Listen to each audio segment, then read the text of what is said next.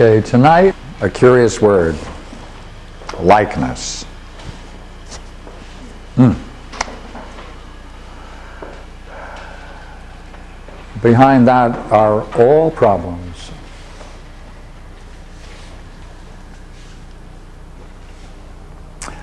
It's the most central, basic notion of the entire intellectual world. It's the fundamental principle of creation. This is a quote from the Timaeus, Plato's Timaeus. God, or the demiurgos, the creator, maker, really, rather than a creator. He desired that all should be, so far as possible, like unto himself. This principle regarded by all the wise, above all, as the supreme originating principle of becoming and the whole cosmos, the whole universe.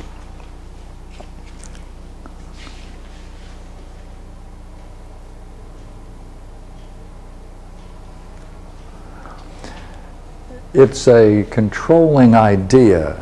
It's the condition. Remember, we used the word condition. We're going to use it tonight. Right. Would you not agree that an artist, an artist, right, painter, that kind of an artist,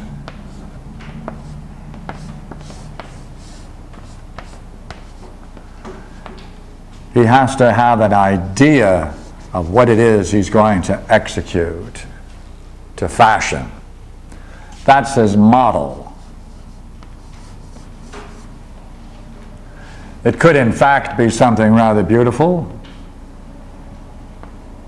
such as what I'm able to draw from my superior art. In any case, he must focus his mind on that model. And then, if he has sufficient skill, mastery of a skill, he can then bring into existence a copy.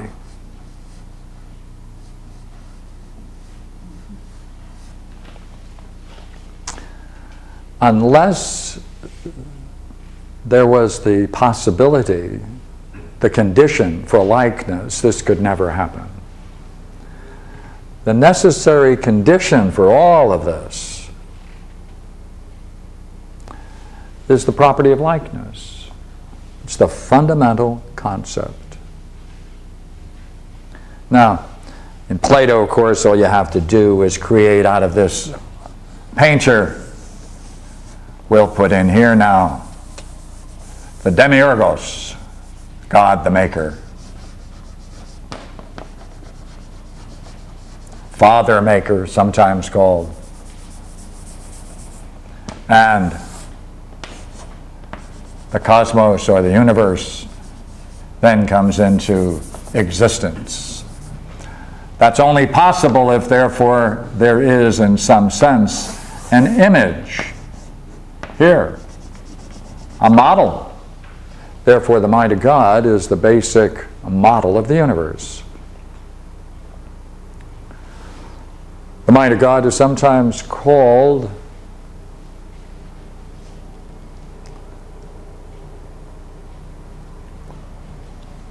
the forms.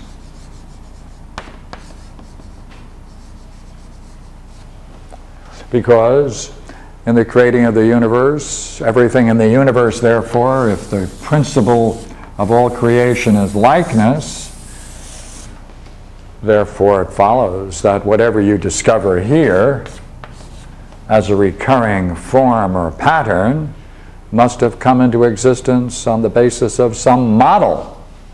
Now, the model, fancy word for the model, is the forms. So, therefore, in the whole development of man, we can use man as an example. And where he's going, his whole destiny, both coming into existence and passing out of existence, that whole thing is the idea of man. Now, the idea of man is this curious thing called form.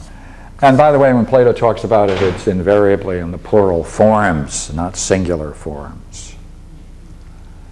Now, we can save a lot of difficulty if we just understand the idea of form not as the image not as the image of a seal that stamps out images a pattern cookie cutter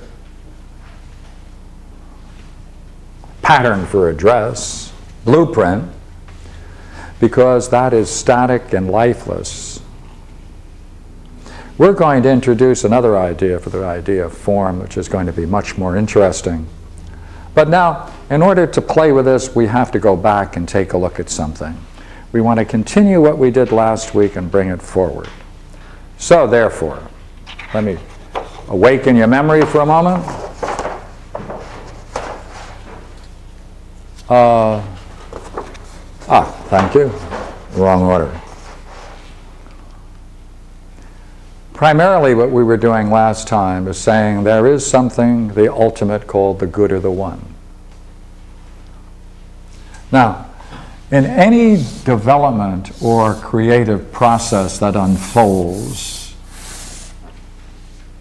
each particular stage that is unfolded, each particular stage, bears a relationship to its former as model is to copy therefore throughout the entire universe. There's nothing other than, in an unfolding process, the idea of likeness. Well, last time, therefore, we said there's something called the good of the one. That's our ultimate term. And necessarily from the good, if there's an activity, if the good has any power at all, it brings into existence goodness. on the side of the good and from the one, unity. Therefore, goodness is a unity. The kind of unity we're talking about is a goodness.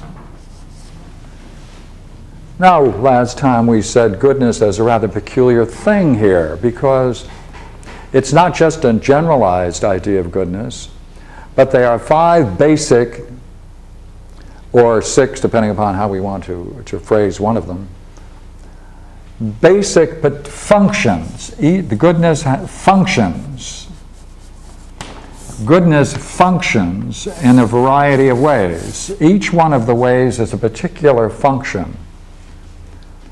And its particular function brings about a particular good or kind of good. Therefore, we call them before these functions of goodness bring about a perfecting, a protecting, a preserving, a purifying, a turning about, and a vitalizing. And each of these is an individuation of goodness, a particular, particular form of goodness. And they function as a unity, though particular accents on each one. Therefore, taking it as a unity, taking it as a unity, therefore functions, right? Pardon me. That unity of goodness functions and gives the, and gains the name of providence. That's what we said last time, right? That's what we went. Now, see these terms? You know them by heart now, right? There are four of them. Four P's, right? Perfecting, protecting, preserving, purifying, turning about, and vitalizing. Sometimes you can talk about protecting and preserving as similar. But whether you break them apart or you consider them, those are the basic sets. Each one is a particular function of goodness. Taken together as an activity, that's the name given to providence. Now, something is rather curious about this. This idea of likeness now we call the form. Well, a form is the particular content. The forms are the content of the intelligence.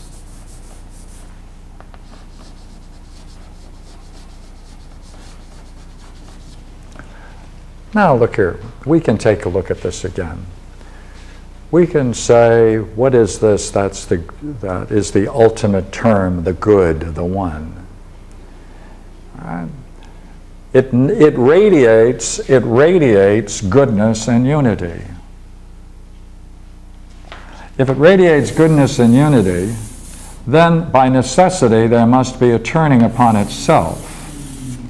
In that turning upon itself, therefore, there's a procession and a return. It has a vitalizing factor, it's perfecting. Look, you know what else it's doing? You see, when it returns to its source, therefore, at that, that metaphysical point of returning to its source, that's insight. That's the operation of intuition. That's recognizing its source. That's recognizing its source, right? That's recognizing its source means that it has discovered its origin. And therefore, its origin is real, and this is what is metaphysically called the birth of being. Being with a capital B. And since it's a, a recognizing, necessarily there's an intellect involved in it, returns to its origin, ah, being, there's a vitality to the entire process since it's dynamic. Therefore, what naturally emerges out of goodness and unity is what we call intelligence, vitality, usually, traditionally, you can talk about, therefore, this third realm as being, intelligence, vitality. For shorthand, you can call it being. For shorthand, you can call it intelligence. Now, I want to talk about this man again. We're saying in this being, intelligent, vitality, there are these curious things called forms. And by heavens, we named two so far we named likeness and man. Well, what's the relationship between this form man and you and I here now? Well, what we're going to try to show is why it can be said that the very individuating process of providence through those five or six ideas necessarily comes together into a form. And then the same qualities emerge in soul. Each step, however, a further refinement and diminution. Going upwards, it has a gains rather than diminution. So let's see if we can make sense of what I just said. All right, let's try it. What are we going to do? While we're talking, we're talking about two ideas Forms, by the way, the word forms, a better word for it is ideas with a capital I to distinguish it from mere thoughts. Now we have to show why it deserves the capital I and why when we use the word form we should be very careful that we don't mean merely a shape or a semblance of something. We have to be careful about that. So then, Forms are no form. Number one. A form ain't no form. It's something far more than model and copy. Because it has a power. All forms have a power. This entire model has a power. It bestows, right? It's bestowing likeness is only one function of the forms. Forms really are, watch now, we have another five. I bet you're going to say they're similar. That's right. Right. I, good heavens, there's another one. I, what did I do here, Pierre? Um, productive in the sense that it's generative. origin. Okay. Therefore, in the mind of God, in the mind of the Demiurgos, there is the ideas. They're the forms or the model for creation.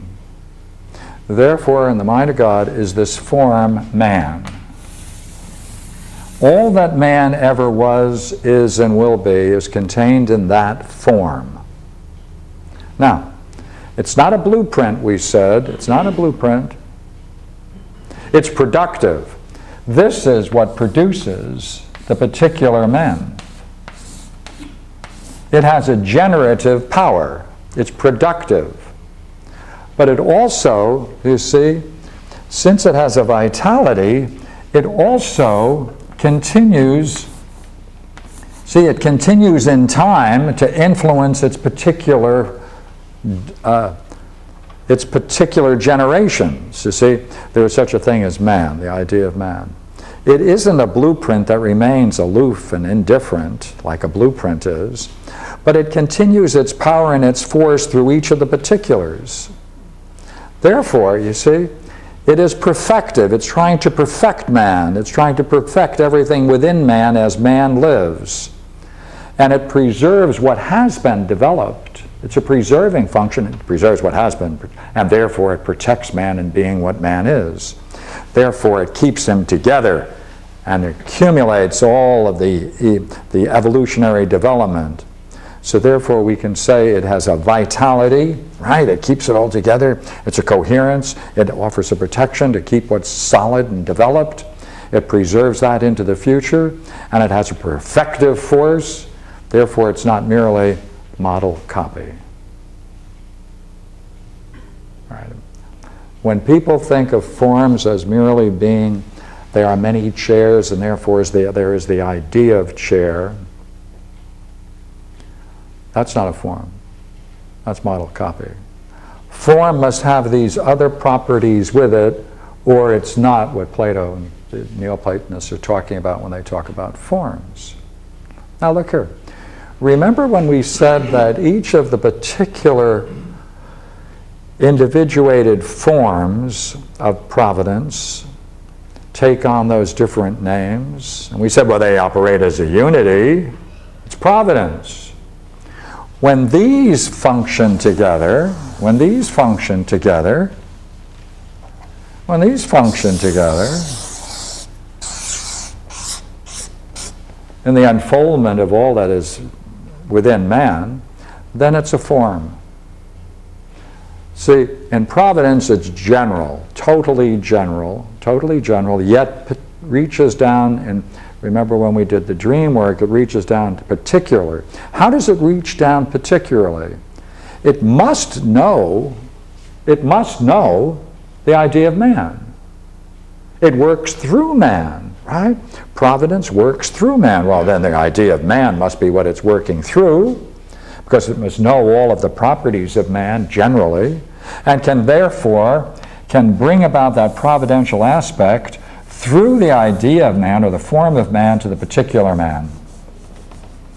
When it brings it down to the particular man, then all of those great qualities that we call the individuation of providence now in a more diminu diminutive form, lesser form, but still carrying some of the very same ideas, now operate within the idea of man, horse, whatever it is that's living. Now,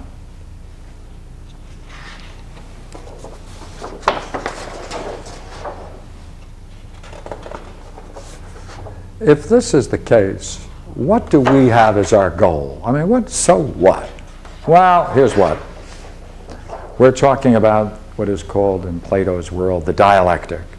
What's the task of the dialectic? It's to contemplate those primary entities employing pure conceptions. Now, what are the primary entities? Look here, you can't do any work, you can't do any meaningful work unless you have an idea of the nature of man. I mean, what is the nature of man? When you get and reflect on that, now you're contemplating primary entities. When you're talking about the nature of man, what are you talking about? You're talking about something that is being perfected over time, that's unfolding over time. And what is it that's unfolding in time? That is man's capacity, man's capacity, look here, man's capacity, here are the intelligent, here's the soul and body. That's us. Because all of these providential forms, providential entities, I should call them, are doing one thing. They're trying to perfect man. Perfecting man means what? To gain a realization of the realm of being, intelligence, and vitality. Why? So then you can then proceed and gain an insight, that's right, until finally returning to the origin. Therefore, the, the very act of creation, metaphysically considered, also takes place in the development of man as man seeks his own nature. And seeking his own nature, he recapitulates the metaphysical processes that brought about creation in the first place. Goes through each of the stages. Therefore, what is man? Man is a knowing thing. Man is a knowing thing. Now, it's a special kind of knowing thing. It's a special kind of knowing thing because he has to go beyond knowledge to gain something more significant. But he's a knowing thing, and he has to be brought to realize that he has to go beyond knowing. Well, what is it to go beyond knowing? To go beyond knowing means that you're in the intuitive realm, right? You're in the intuitive realm. And what is the mark of the intuitive realm? It's when the subject, the active, the, the, whether it's when the intellect and the, and the intellect functioning and the object of the intelligible is one. It's a unity. That's intuitive. That's the important part, right? Okay, what do I mean then? Man is a knowing thing. There's a kind of knowing where the subject and object are always different. That's knowledge. Intuitive, how are we using that word? We're using intuitive in the sense of only one thing. And that is this model, you see? That's this model. Because in this return to the source, one recognizes one's own being as essentially the same as what is seeing it. And in seeing it, one recognizes there's no difference between it. That's a moment of intuition. That's what man is. Man goes through all his struggles to try to come back to just one thing his own origin, which is nothing other than the cosmic unfolding of man in the universe. Therefore, see, what's the goal of the dialectic? It's to contemplate these primary entities man, likeness, providence, being, intelligence, vitality, goodness, unity, nature of the good and the one. Why? There's only one assumption that's working here, and that is the intellectual comprehension of these things prepares you for vision. It's not just an intellectual game, it's a preparation for vision. It allows a person to, to recognize that they can be receptive to, in a caring universe where knowing is playing a major role, right? And what kind of knowing? An intuitive knowing that grasps the entire thing into a high unity. Right? Now, The difficulty in this whole process is that it is difficult to do this. And therefore, Proclus and Plotinus and Plato always say, look here, relations are, are constant, the terms vary. If you want to understand something, look at the images, grasp the images so you can then return to the model. Start with the images, look for the shapes, work your way back, recognizing each time you work back, of course, there's a nice quantum jump between each level. So therefore, in defining and dividing and our process of understanding these things, we must first look to the images of the things we are exploring. Now, what do we mean by a form then, likeness? It's not an object of knowledge, because it's only by intuition and rational exploring that we come to we, we can come to recognize that there's something there and our words try to shape it and identifying it. It must be simple. It's all of these very simple things. So, what do we want to say it contains? We want to say it's paradigmatic, that is to say it is capable of generating things like itself. It's generative. As we said before, it's the cause of completion. And in doing it, hey, it confers goodness, doesn't it? Why, it's these very same ideas, the, what we call the individuation of goodness that we mentioned, that now reappear as part of the dynamics behind each one of these forms. Each one of these forms, man, dog, tree, anything living, can be said to fall into a class, and that class therefore can be said to be a form. But all of this taken together on the highest level contains those operating, individuating processes of goodness as its motive power working on the particular thing. So therefore, there is the idea of man, paradigmatic aspect. It generates things that look like men, right? It's generative. It has the power of producing them. It's the cause of completion. Man is not just man. Man must be completed by reflecting back on his source. Therefore, it has the possibility, it has the, necessarily, it confers goodness on its quest. Therefore, what do we say? Fruition preserves. It's the cause of their being. It's cooperative, it's cohesive, and it unifies man. Ah, now look.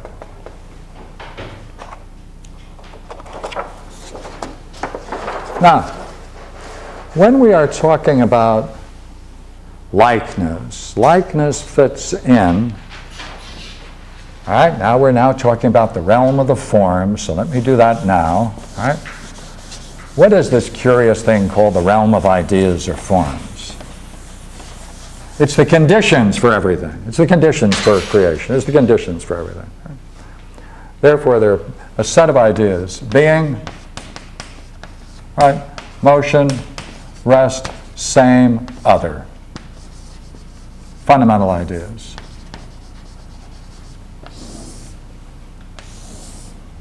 And then man, ox, etc., living things that can be said to be part. Now, of course, we might add a page to this in modern thought. We would say wherever the evolutionary force takes us, things change, but we'll leave it this way for the moment. Now, there's a middle range. There's a middle range to these things called forms, which I prefer to call ideas with a capital I. You see why we're calling them and why it deserves a capital I? It's not merely a thought if it has all of those powers. It's not a thought in someone's mind. It has a, a creative function, an organizing function, a protecting function, perfecting on the highest level. Therefore, it's not merely a thought, therefore it deserves capital I. Now, what do we put in here? Likeness, greatness. They're all nesses. Although in English we can't put it, but it should be beautiness, but I'll just put beauty. And it should be just justness, but we use the word justice.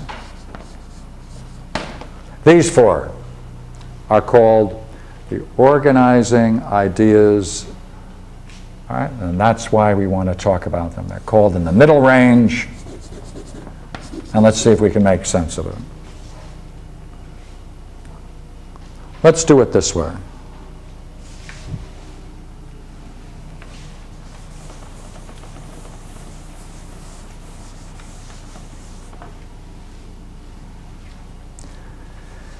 Every man wants to be more perfect. Every man has a model, something he's struggling for to achieve. Therefore, no matter who he is or what he is, that's what he's after, he, she. That's what, that's what he's after. Now, all our confusion comes is when, of course, when uh, you have the wrong model or you're not able to achieve it. But nonetheless, man being man, he strives for the better. Whether it's a better cup of coffee, whether it's better shoes, whether it's a better job, whether life being better, we always struggle for something that we want to regard as better. Now look here. That means we want to become like this. See, we want to become like that. Therefore, the very idea of likeness is a principle within our reality that does something. Right? It renders secondary things like primary. This is the primary. Right? Here we are, secondary. It's the motive power within us that seeks to realize that model. Therefore, it, likeness, the very condition of likeness, renders secondary things like primary. It's the driving power behind it. It's the single tie that holds all things together. Because these four chairs over there are like one another. If there wasn't the condition for likeness, those four chairs couldn't be together. Mother and father, children, all things that are created and are generated have a likeness. If it weren't for likeness, things would not be together. Therefore, a likeness, the fundamental property of likeness, holds all things together. But look here, you can't have the idea of likeness, and things aren't driven by likeness, unless there's a sense of difference between the two, and you would rather have the higher. That's why you want to become like something. Therefore, a likeness necessarily, necessarily involves the idea of greater. Necessarily the idea. It's built into the very idea, the quest, the development. What do we mean by greatness? Now, greatness is that thing which gives preeminence to anything in its particular class. That's what it is. Right? It gives preeminence to anything in a particular class. In any class of things, you'll always find something that is preeminently more like that member, more like the class itself than others. That others can be judged by it and fall away, fall short from it, but there's always something that preeminently can be said to exhibit the qualities of the member in that class right? All the members in the class. Therefore, it's the cause of excellence and superior quality, wherever it is in all grades of being. Right? Therefore, if you and I want to gain, we want to become like something, model ourselves, become better, that presupposes there is in the nature of our reality this power of greatness. Because when we get there, we expect to be preeminently like that thing that we want to struggle to be like and therefore greatness necessarily must be there. But wait a minute, what do you want to do it for? Why? Why? Curiously enough, we want it because we want to be better on all levels and to be better and exhibit and exhibit that quality, to exhibit that quality. Right? To exhibit it to show it, to display it, to be willing to, to let it go, to let see it, to drop all the nonsense, right? To drop all the games, to, to display it. That's the moment of beauty. That is beauty. That's what beauty is. Therefore, necessarily, you have to introduce the idea of beauty as one of the major ideas that are governing our reality, and the nature of our reality is a metaphysical reality of goodness. Therefore, it dispenses symmetry, see? Right? It has a unity, a charm, perfection. And therefore, most essentially, by the way, it shows itself most clearly through the mind. Through the mind, because that's what we really want to see. We want to see beauty through the mind. Whether it's basketball playing, we want to see someone who can see the opportunity, seize the opportunity, play the best possible game and use the mind so skillfully that we're amazed at the dexterity and the goal that he achieves. Right? That's what we want to see. We want to see beauty. Right? But wait a minute. Not without justice. Because we want, we want this, this achievement to be fair. No fairness in reality, no reality worth mentioning. Therefore, in that struggle, fairness is the hallmark of the entire pursuit. Otherwise, there'd be no point in trying to become like something that doesn't make the person who is going to become like better. Better in what sense? Why, better in the way the person is. How's that? Justice. Therefore, justice is the cause of all of these things working properly so that each functions most perfectly. That's what fairness is. It means that you're doing what's right, the model is right for you, right? The greatness you want to achieve is perfect for you, right? It brings about a better condition, and it's right for that to be the way it is. Therefore, through the whole thing is fairness. That's another word for justice. Therefore, each, each of these has a particular activity and function. But you know what? Are you beginning to see something curious? Each implies the other, doesn't it? Each implies the other. See, rationally we can distinguish them, but they have a unity. Rationally we can make these distinctions, and I'm appealing to, you to kind of awaken you uh, to take the trip with me so that you can kind of get an intuition of what I'm saying, because we do not agree. The ideal likeness, therefore, presupposes these operating together in a unity. By the way, didn't we say that same thing about the individuated forms of goodness last week? When, because when they come together as a unity, that's providence, that's one thing. When these come together, they must always be together, though they may function more in respect to one side than the other, but they must all function together, and therefore that's why Plato talks about the doctrine of forms. And he talks about forms, plural, because they are not separate, separate one from the other, cluttering the metaphysical landscape.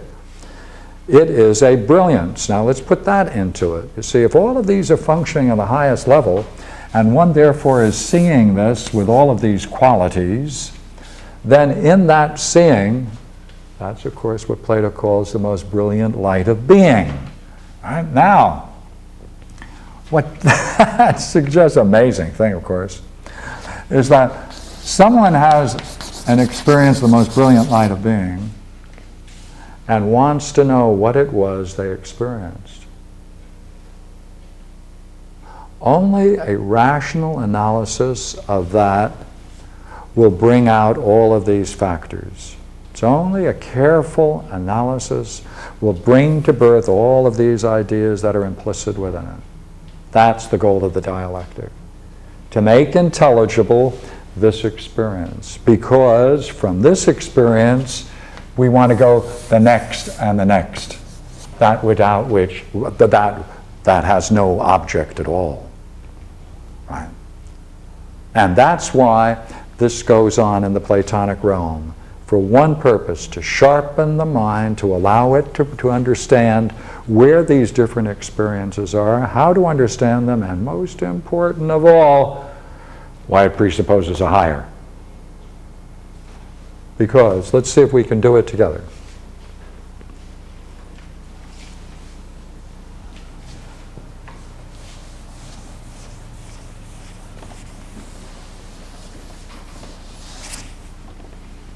All right. Kind of Christmas time. That uh, gigantic image in the New Testament of uh, uh, the Transfiguration um, in uh,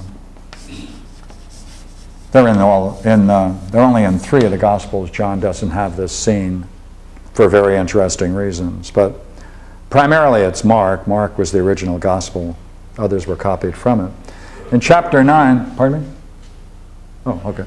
In chapter 9, Jesus takes uh, three of his disciples up to the mountaintop, and there is a magnificent outpouring of luminosity, out of which, out of which comes Moses and Elijah, and they have a conversation together. In that brilliant luminosity, Through it, by the way, this is the first resurrection. This is really resurrection, bringing out of the dead, because Moses appears and Elijah appears, and they talk with one another. And I assure you, that must have been one of the great dialogues in history. Right? I mean, in all fairness, that must have been one heck of a talk. I've often speculated on that, by the way, what kind of a talk they must have had. But let's now go back into it, all right? brilliant light of being, what we are going to see whether it's natural that we're going to use these very terms we just used. Let's see if we can do it. Would you agree it has to be beautiful.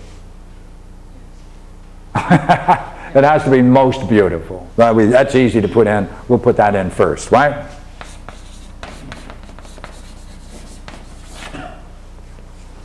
Now, would you agree in such an experience? I will go further and say, in it you cannot conceive of anything greater. Therefore, it necessarily has the mark of greatness. In such an experience, it is impossible to conceive that there can be anything greater.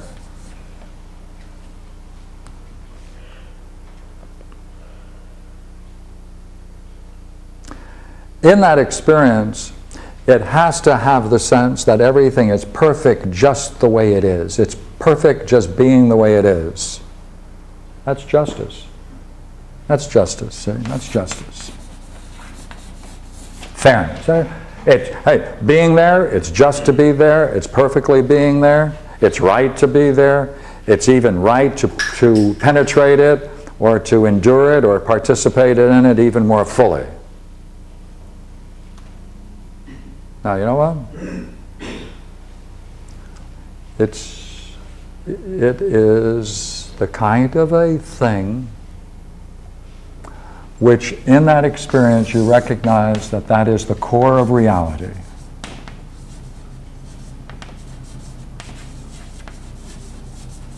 Of which you are part and parcel of. No difference, right? No difference in that sense. The core of reality it admits of degrees, can be experienced to uh, more and less degrees, of course. But in the sense that it's the core of reality, then, it's that which holds all things together. Because that's the bond of being. That's the bond of being. But when one recognizes it, you know what one recognizes? That it's, it's not this, when one says, they recognize that it's part and parcel of themselves. They don't mean their big toe. They mean in respect to the mind. And therefore, it's necessarily that, therefore, that being, therefore, and intelligence, and it has a fantastic vitality, we know that. Therefore, one recognizes in it that that's the kind of stuff that has made that entering into that makes perfect. It is perfective. It makes perfect. And what makes perfect is nothing other than likeness. It renders secondary things like the primary. That's what it does. And therefore, through this experience and by playing with it in these terms, we can begin to see how this one idea, likeness, involves these others together into a unity and that unity then, by analysis, can be seen to be inferred from the experience of the most brilliant light of being.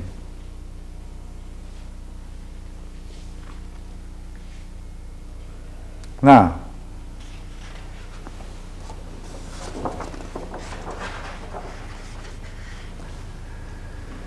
the forms, therefore, that's the unifying cause of all things.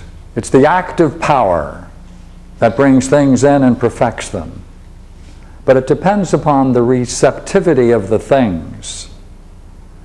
It isn't something that we become puppets through which the divine functions. No, no. It requires our receptivity to, the, the, to these very things. Therefore, the whole creation is nothing other than a unified fulfillment. One the forms, two, our reception to it. In that union, there is a communication, there is a sharing, and that's the kind of a union that brings about the perfection of man and the, and the cosmos. Now, what do we mean by likeness? What's in it? How can we explore it by this curious word, dialectic? Let me play with this for a moment. All right, let me play with it. For a moment. What can we now define as, as the things necessary, the ideas necessary to understand the idea of likeness? Does it have a set too, a set of ideas, right, which together can be represented as likeness? Yes. How shall we do it? The dialectic proceeds through 24 categories. Now that sounds very involved, but it isn't, as you'll see. 12 are positive, so we've already divided to 12 positive, 12 negative. There are only four things we're talking about. There are only four things we're talking about. Four classes is all we're going to be talking about. So all you have to do is just recognize the four classes we're going to talk about. By the way, the four classes you can say three things about. For any of the classes, you can say something that's true, something that's false, and something that is both true and false. So let's see what we have. What are the four classes? You can make a statement that reflects and is concerned only with itself.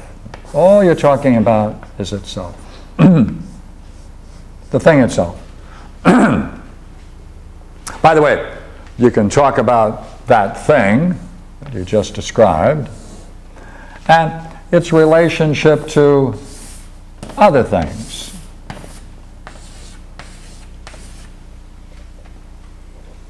And by the way, if you can talk about this, whatever it's going to be, and its relationship to other things, you can then go the next step and say, well, wait a minute. What is the impact that this has on each other?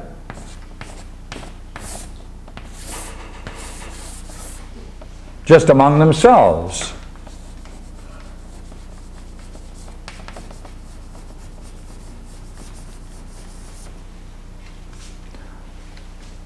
Its effect on others among themselves. Now, wait a minute.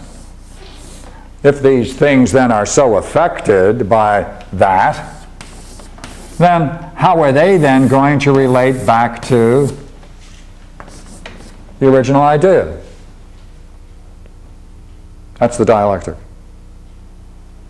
You can talk about likeness or man, the idea of man, relationship to other things, how it is among other things, and how the other things are back.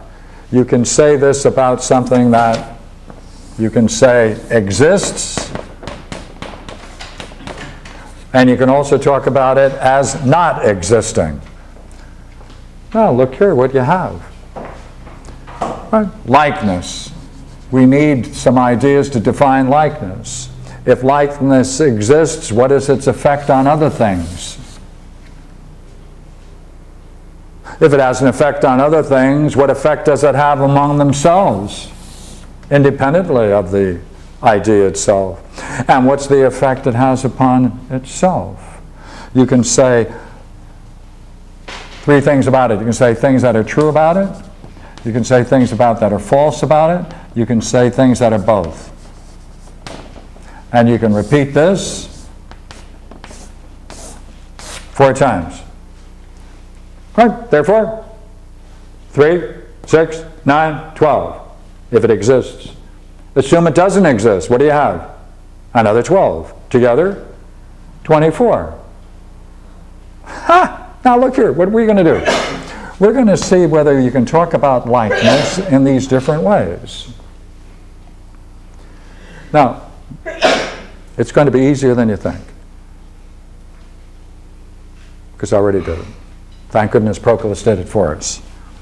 But I would like to introduce something to you. We've been talking about likeness. We've been talking about the idea of model and copy. Another way of talking about it is model and image. So I'm going to do something with her. I'm going to let you see how Proclus talks about likeness in these 24 ways. And then I'm going to give you an image of it so that you can see the very idea of likeness appearing in the very thing we're talking about, which is the idea of likeness. How are we going to do it? Well, luckily enough, uh,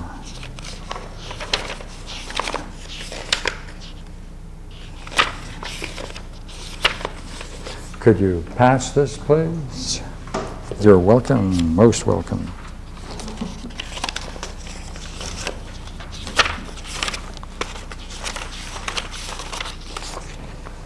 嗯。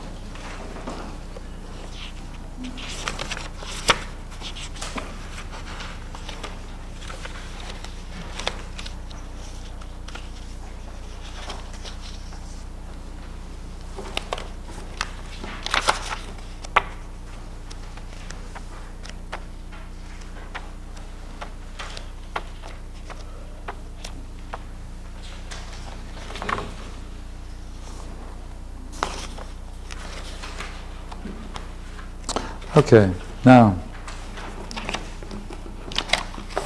what I've given you are some copies of uh, analysis of likeness. Right? You'll have that. You can look at it later. Right?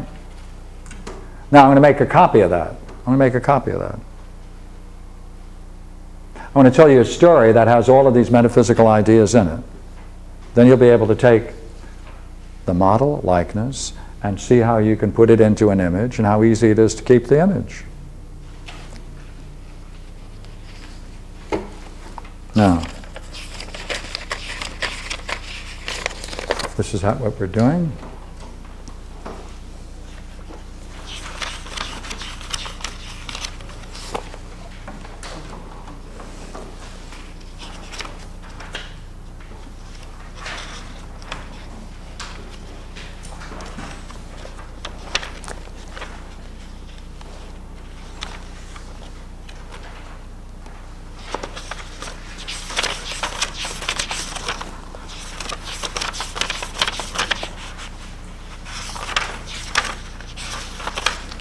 Yeah, page 27.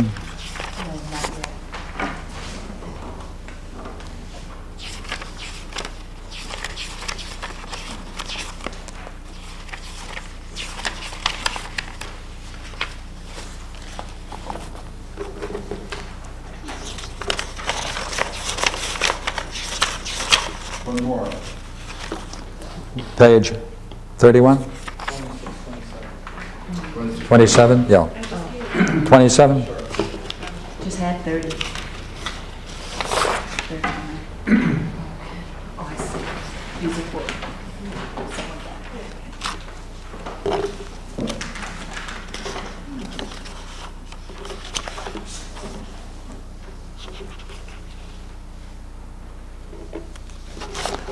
Okay, would you please take a look at page 365?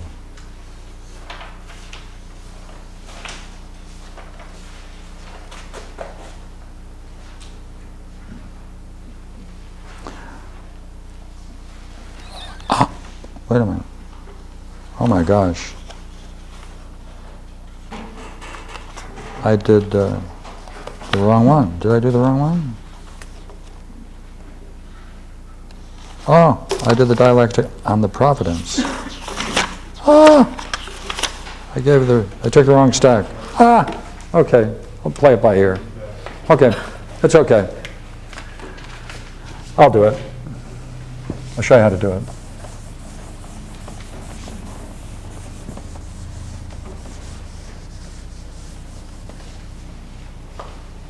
More fun this way.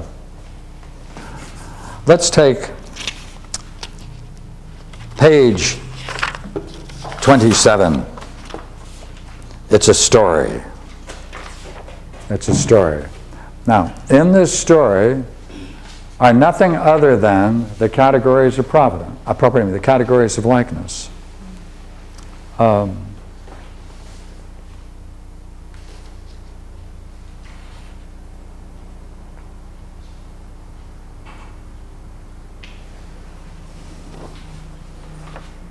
You see, um,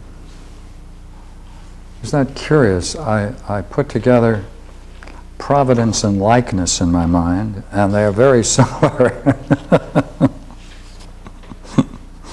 I like that. So, this is a story I created. Now, I created this story so that you can take something very abstract and difficult to understand or keep in your mind and I took the very ideas and I structured it so you could just put it into a story. If you remember the story, you have the whole idea.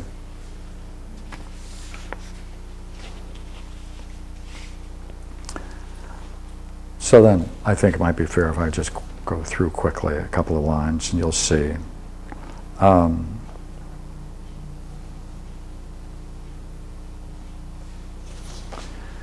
the beginning is suggestive. So the story is of two kingdoms. One is going to be positive, and the other one's going to be negative.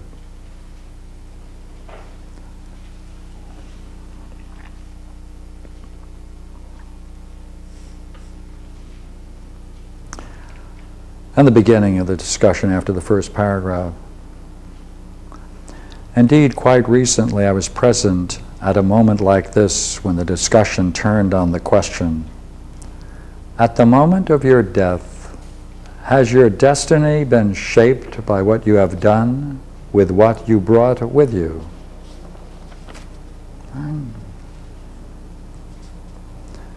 It was at such a moment that one of the mountain men, Agathon as he was called, came in and after exchanging greetings, a place was made for him to sit down comfortably.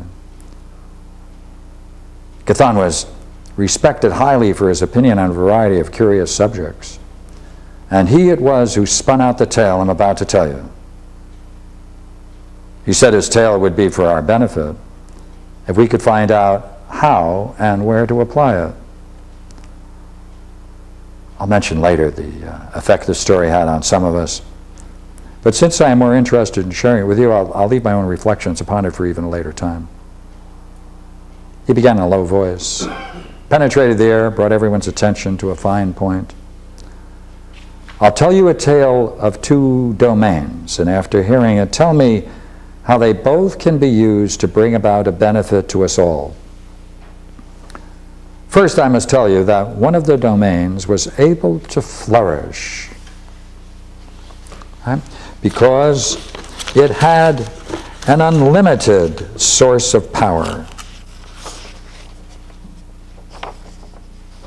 So that whatever needed to be done could be accomplished perfectly. Everything was brought to a level where, it, where its goodness was clearly manifest. Now, you go through it and, and just notice the terms that are being used, collect those terms, put them alongside of each one of these, and you will have through this story the key ideas that develop this notion. So therefore, if you learn a couple of stories like this, keep the stories in your head, they should fit together coherently. You should then be able to reflect on the stories. And you know what you're reflecting on? one of the forms. Well, as I say, I took the, I apologize for this, I took the wrong stack. I took the stack on providence instead of likeness in my rush to get out, and my time was occupied by a variety of curious things this afternoon. Uh, so, uh,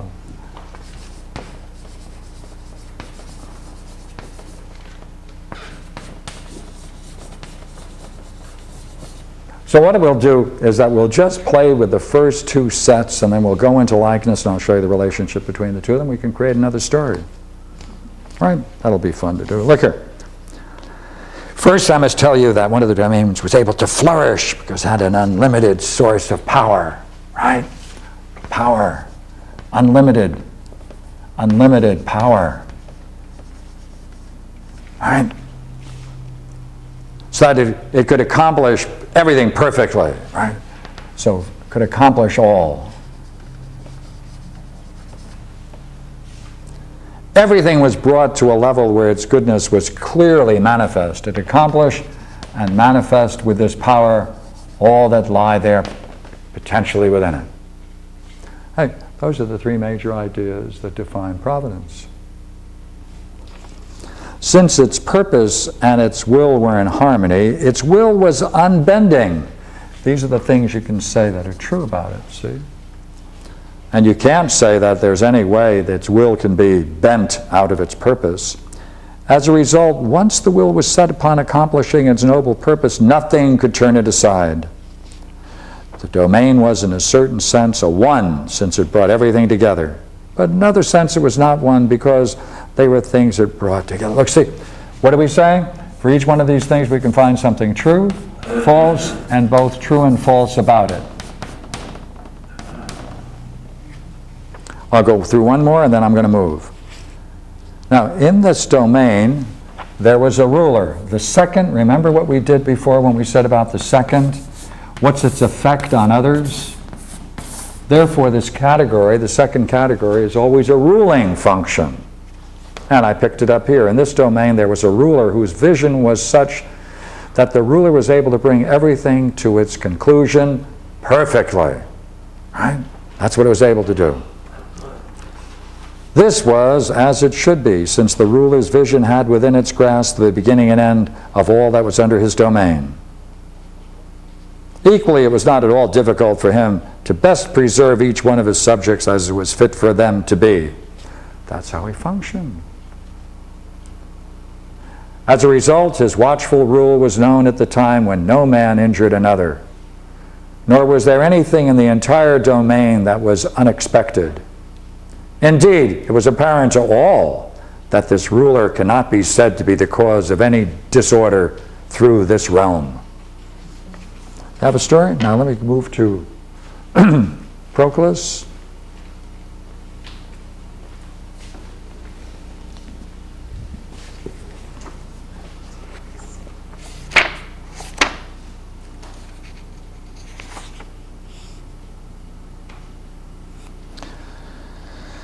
Nature of providence is, in relationship to itself, it's of the nature of the good, goodness, being infinite in power, having effective capability. What you can't say about it, what there will not be true of it, that it's being turned aside from its purpose, that it lacks will. Is that in the story? This is the way he defines it dialectically. The story matches it with each point in the story. It picks up one of these ideas, doesn't it? Now, what if we did the same for likeness? That's what we were going to do. And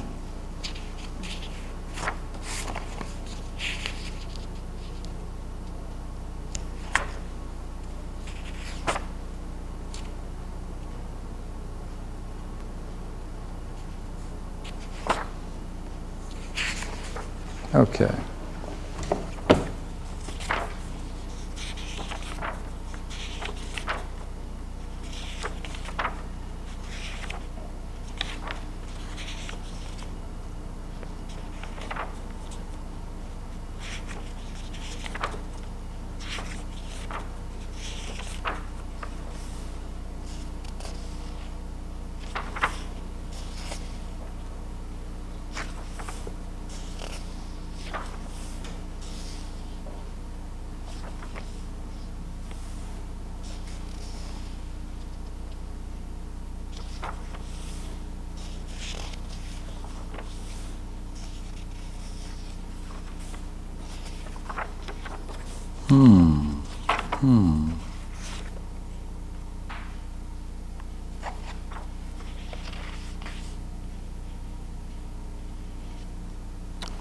This is. Uh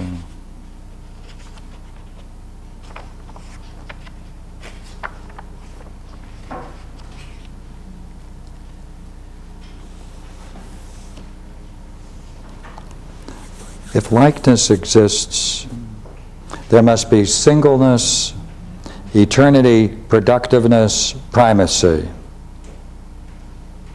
Well, we can take these ideas now and we can create another story based upon likeness. In other words, you can take each of these forms, the major ideas in Plato, and you can create a story where in the story you have highlighted, highlighted each of the ideas. So therefore, if you come to grasp a whole set of very simple stories, the stories will be the copy or an image of the model. The model will have the dialectical terms you need. And I was going to uh, bring you a section on likeness, only I brought providence instead. And um, that, that's kind of isn't that kind of humorous? If all of life was predictable, like you're implying there, wouldn't it be a bit boring? To, to find the difference between the two? Everything is predictable. He said a true ruler would make everything predictable. Oh, yes. Oh, yes. It's not going to be the world's greatest drama. The only thing, see, all you want is a framework where you can put the ideas in so that the, the domains themselves can be so idyllic that no state such as that will ever exist. But in creating a story, though, that has all of those terms, you have a context in which you can see the terms. Oh, you're quite right. It'd be boring. I wouldn't buy it. but in terms of in terms of presenting the ideas, it would contain it all. Yeah, In yeah. other words, there's certain stages, is what you're saying, like stages of evolution or stages of Yeah. uh-huh. maturity, growing in maturity we Yeah. go through. Mem- Mnemonic device. Yeah, it could be a, a- an interesting device to present it that way. But, so therefore, I'd say, uh, I made an image of the copy of the model. Because Proclus gives us the, the model, I made copies of it for you, and then I made a story of the image of it. Only, as I say, I brought, good thing I brought Providence. I wonder if that was providential. So, um, maybe then we can uh, shift gears. And the last time we were here, remember we went through a dream, and this uh, young lady here had a, a dream, and she was going to tell us, was she not? Maybe we can pull that into likeness. Think we might be skillful enough to do that? Let's try it. You went back over the tape. Could you uh, tell us what you discovered? Uh, Well, that part of the story was pretty close, except there was uh, uh, a couple of additions that, that namely when I was crossing the street, all the people were coming out of um, an ambulance. And, and the boys had come and came out of an ambulance, and I don't know how that fit in, but um, And then on the other side, uh, they mentioned a couple, the, I got back the words that the kids said. They said that uh, you weren't following the rules, because we, I had crossed against the red light Wow. to cross the street. And I agreed with them. I said, yes, but that, they, they put it in that you don't always follow the rules. And I said, no, this was just one time. Mm-hmm. Keep going. And that, that was, uh, that was the addition. The other was the same, that is that the boys found the child of the earth, and they did put it on my finger. Which mentor was? Oh, I, they did find the child, they dug up the child of the earth, and they did put it on my finger. And I tried to take it off, and I knew that the next step was I was gonna have to pull it off with my other hand. And the particular thing that we were looking at, was it not, is that uh, when you were called upon to report your state of mind, you leave out certain interesting features which allows the person to judge without that vital information since a part of it is kept or not revealed. Is that correct? Was that the one you were working on? uh, oh, the teacher, that I didn't, uh, that I assumed that it wasn't significant or that it would be, uh, I thought that it would be the, uh, the story. I did, are you talking about my relationship with the teacher? That is what you That I left up. out information because Yeah. I didn't want to assume something that wasn't right or true. I mean, I didn't want to assume that something was right when it wasn't.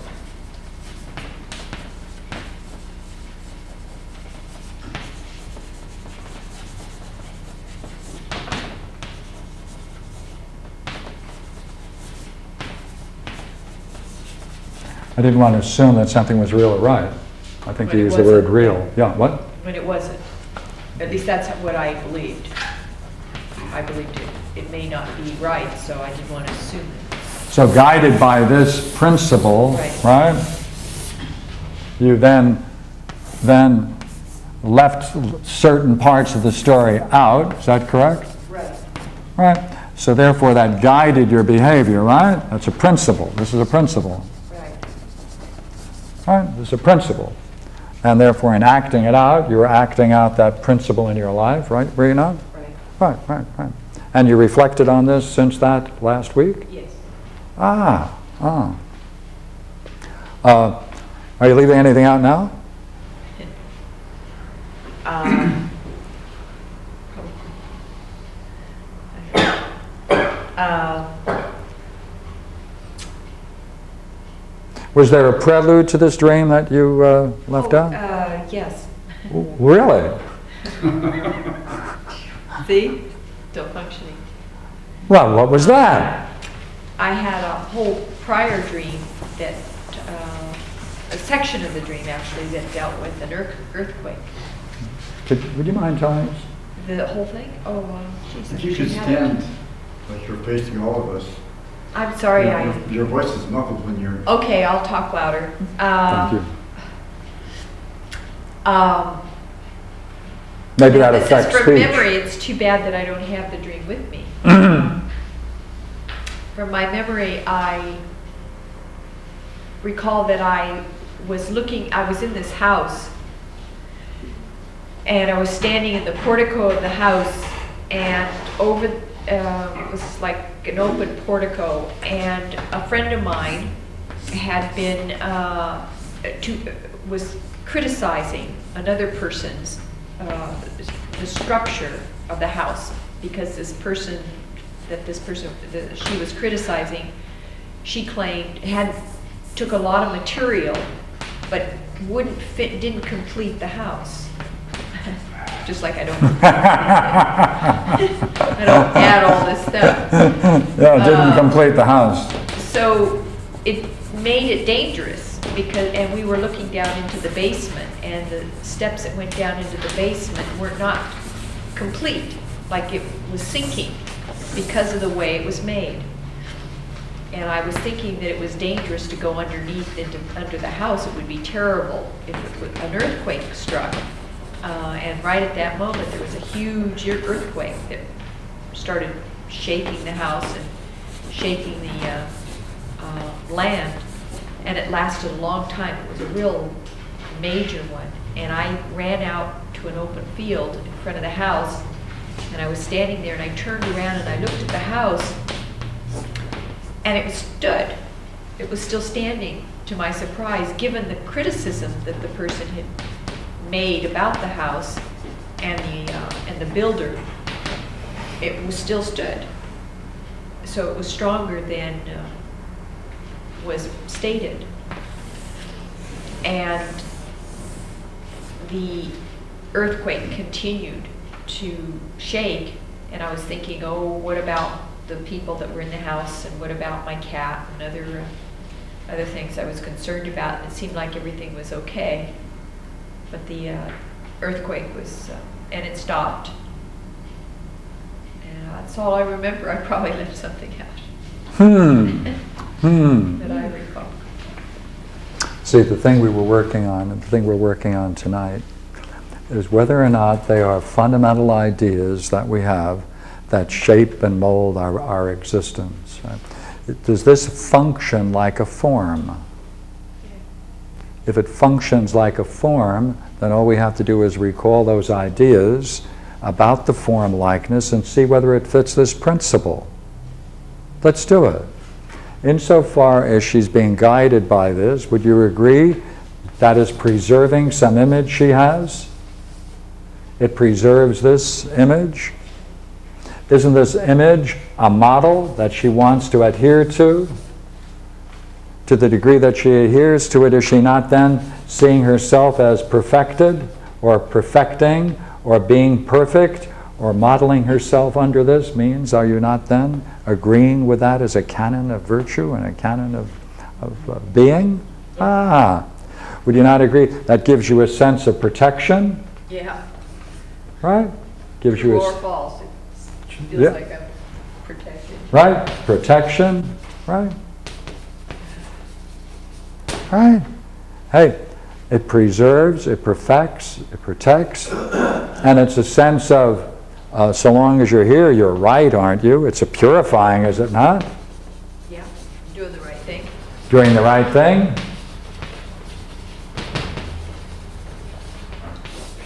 Right?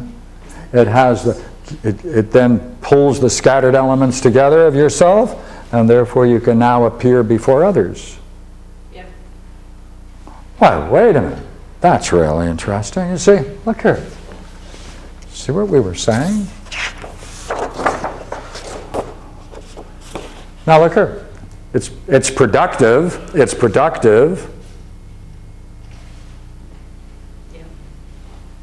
because you are like that, are you not? You're trying to become like that. As we said, it, it's, perfe- it preserves, it protects, It brings you together as a unity.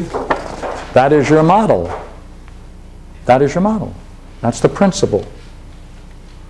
And therefore, in our behavior, you see, whether we think there's a metaphysical principle of likeness, would you not agree?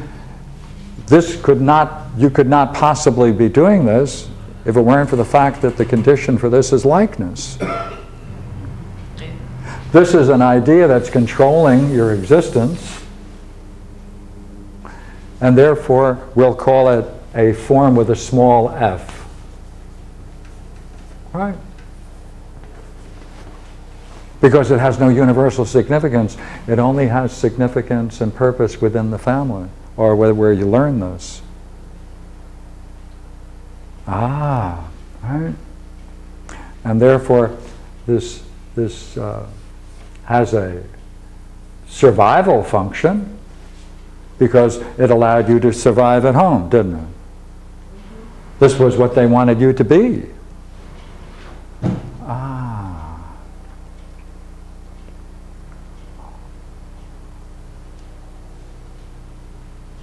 Hmm.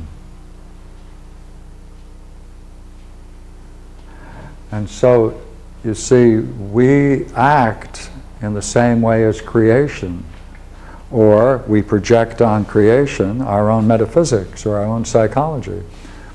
Because here you have a principle. On that basis, you're molding yourself to be and to do and to think. It also, it also shapes what you did experience. Now look at this, what's here, what you left out, all right? What is that saying about your house? What is this criticism? The criticism is uh, not, it's, uh, it's It's not. Not com- correct. Not complete, not not correct. correct, not correct, It's not correct. not correct. Right? That's the criticism. Because technically, the way it was criticized, the house should have fallen, Hmm. should have just collapsed. Yeah. Are they assuming something that wasn't real or true? Yeah, they are. Oh, were they right? No.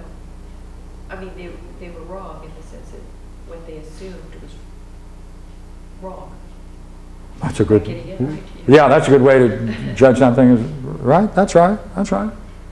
And it withstood a great shaking. Earthquake. It went on and on and on. Yeah. A great test, wasn't it? Yeah, it was definitely a test. for the. Hmm. For her to get out of the house and watch back, it had to be at least a nine, Sure. because That's right. the quake is so fast that uh, you can't move hardly. Oh, in fact, that was part of it. It- it- There was a Thank you. moment where I thought, this is a bad earthquake, and I was yelling to the person Mm. that we, you know, this is a, t- this is a big one, because we can't move, we can't Yeah. get out. Yeah. Yeah. Then I was get in, out. but I did get out. Yeah. But you didn't have to get out. I didn't. no, that's true, I didn't. You were going on the, did. Assum- Her assumption, of the assumption. yeah. Ah, Assuming right. something. That's right. Because of this. Didn't to assume something was, oh, oh, it just, yeah, I believed it. You believe it. Uh-huh. So this is what happened. this is the belief. This came before the dream that we looked at last week. Right. That was just before. That was the Ah, part I left, couldn't remember. ah, ah. Hmm. Wow, that is really nice. Yes. What about the stairs that are going down into the basement that you didn't consider safe? Well, the whole, whole house was, uh, didn't collapse, so that So they're wasn't a safe problem. after all. Even the weakest part was secure. Yeah, it didn't, yeah, it didn't bother the house. It Yeah. didn't bother, bother, no, Hmm. no. So, look what we have. You have, you have this prelude to your dream, which is, which is a criticism of this, which challenges this. And it takes this in particular, and it reflects your experience, would you not agree that this is functioning as a great principle, and it follows the same model that we have here? You see, and what's our task? Our task is to contemplate those primary ideas. So you can tell whether they're true or they're false, or there's some element of true and falsity in them, right? And how do you do it? You must look at the images. You know what the images are? Your right reflections on them. Because these ideas do have this power. But it works against your best interest, doesn't it? Right. Therefore, you know something interesting about this whole realm. We're in it naturally. We're always in it. We always operate from it. You either do it consciously so that you can see what principles there are, but you're going to work from principles, and the principles you're going to work from are going to follow the same metaphysics of a Neoplatonic metaphysician. It's exactly the same. The only difference is here whether or not you're going to look at the image of it, because the image of it is your recollection of it, and trying to piece it together, which challenges the very thing, because the goal is to keep things out, to make sure you're. Uh, Well, that I don't assume I'm making it up or I'm, I'm making something up. I can hear you. Oh, I'm sorry. Uh, thank you. The man behind me. can- To not, pre- to not uh, present something that may be false. In order to make sure that I will not say something that is false, I will consciously leave things out. Right. Doesn't make sense, but that's okay, that's true. Okay. And therefore, you won't assume anything that is true or real or right. Uh-huh. That, I certainly don't believe that it exists, I guess. It wouldn't, it'd be very difficult to judge it then. Then, what is this really saying then? I'll just put one word to it and it'll be perfect. It'll be proof. Right. Oh. A slight change in grammar. Look here. Someone oh. doesn't want me to assume something is real or right Oh, when it is. when it is. Oh. Uh-huh. That makes sense. That what? Well, that makes sense. Oh. You do assume something was real when it is real. That's how to go from the image to what's real. Uh-huh. Well, that would fit the second part of the dream, yeah. And so we're all metaphysicians. We're in a meta- metaphysical universe. You can either have a private one that's ruling you, or you can make it conscious and decide whether those are the things you want to be, your ruler.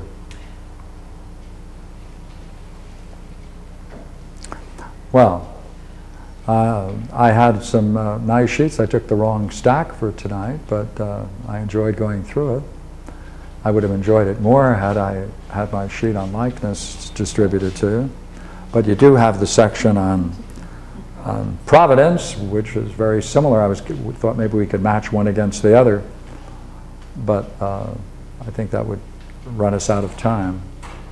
And I think I should reflect a little more about it because it's a nice idea to bring the two together in a story. I think I'll do it for next next time.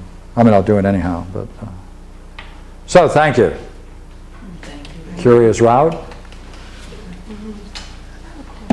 Yes, please. Um, In this model, or the models that we've been talking about for the last couple of classes, uh, where does the concept of evil, how does that play in Proclus's philosophy? It doesn't. Evil does, evil's not a concept, evil's not, Not in the, see, um, would you not agree, going on this principle is going to cost the young lady uh, turmoil, sacrifice, yeah. a lot of t- difficulties, which you and I might say, looks like it's evil. But, you see, She thinks it's sound. She thinks it's right. Therefore, the problem is not evil ignorance. So you move the problem from evil to ignorance. Evil presupposes there's something negative in the nature of reality that's working against us In itself. in itself. There isn't, yeah. This- yeah. This works on the assumption that, no, wait a minute, wait a minute. When you misunderstand the highest principles, you're going to act out in a way that you and I might describe it as evil. But a better way would be to say that's ignorance at loose when it doesn't reflect upon itself. Discover the conditions of its own falsehood. Yeah. It's beautiful, Evil is not, I mean, after years of Catholicism. Well, no, I assure you, there isn't too much similar between this and No, Catholicism. re- no, that's, re- it's refreshing. Yeah, It's yeah, just thoroughly yeah. refreshing. Yeah, I agree. Yes. It's just ignorance and stupidity, not, nothing is evil, inherently evil. And, and there isn't even any, in one sense, there isn't any stupidity. Oh, okay.